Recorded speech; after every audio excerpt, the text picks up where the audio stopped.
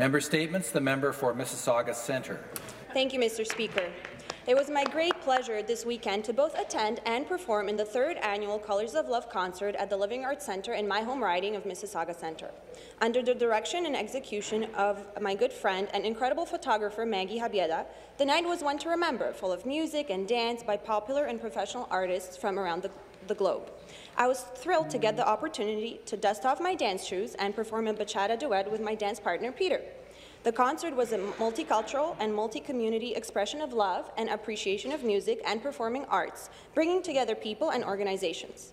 Funds raised by the Colours of Love concert will go to Hats On for Awareness, a local charity that works to further the reach of mental health programs, which enhance the lives of those living and affected by mental illness and addictions. Throughout high school and university, ballroom dancing was my form of self-care, and I found it very fitting to be able to support the cause of mental health awareness through dance.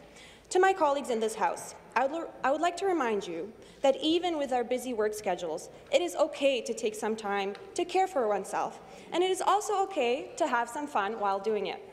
Thank you once again to Maggie Habieda and all the sponsors, as well as my fellow performers and patrons, for coming out and making the Colours of Love concert a truly magical night in celebration of what unites us all, which is love. Thank you, Mr. Speaker.